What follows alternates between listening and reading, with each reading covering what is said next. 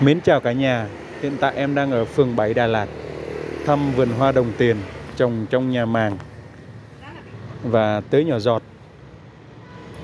Thì à, nếu các bác nào đang trồng hoa đồng tiền Mà gặp các sự cố, các bệnh hại như là bã chầu, đốm lá, phấn trắng Hoặc là đen đầu bông Thì à, có một à, sản phẩm đó là Mighty 560SC của công ty Alpha Sài Gòn.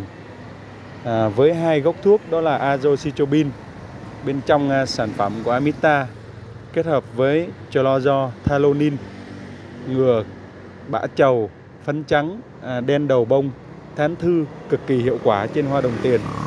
Thì à, bác nào quan tâm?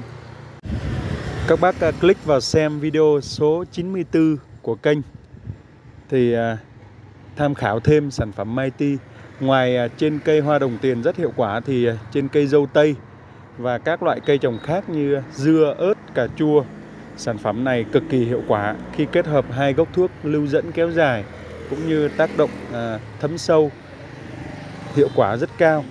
Thì à, các bác quan tâm thì vui lòng xem lại video số 94 hoặc là các bác bình luận comment ở bên dưới video thì em sẽ cung cấp thêm thông tin cho các bác để giúp cho vườn cây của chúng ta à, đẹp, năng suất.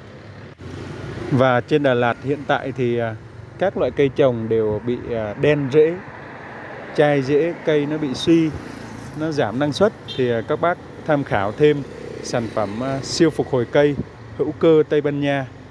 Ở video số 51 để các bác chăm sóc cây tốt hơn.